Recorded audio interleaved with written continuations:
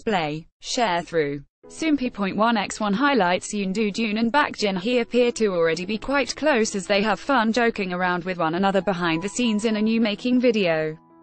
See also, 13 new dramas premiering this July Yoon Doojoon and Baek Jin Hee first start off by filming a teaser video for the drama. While waiting to film, they joke around as Baek Jin Hee offers Yoon Doojoon various foods, including a hunk of wasabi, that he rejects. They are supposed to mess up on purpose for the teaser, but they laugh as they actually make mistakes with the lines they are purposely messing up. Soompi. Display. News. English. Oh oh x 250, BTF Soompi. Mobile. English. Oh x 250, ATF They then film a few scenes in alleyways where they run together. After running, Yoon Doojoon is sweaty and so his staff members hold out fans for him.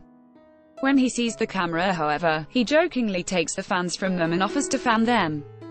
They continue filming the running scenes for a long time and as it's a hot day, both Yoon Doojoon and Baek Jin Hee appear quite tired. Yoon Doojoon comments, I think we should have gotten the shot by now. Baek Jin Hee then responds, we probably did.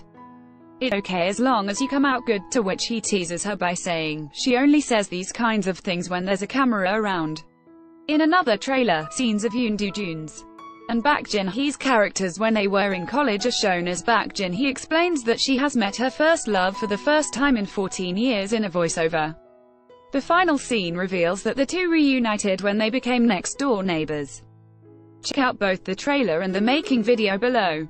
Let's Eat 3 will air its first episode on July 16 at 9.30 p.m. KST, and will be available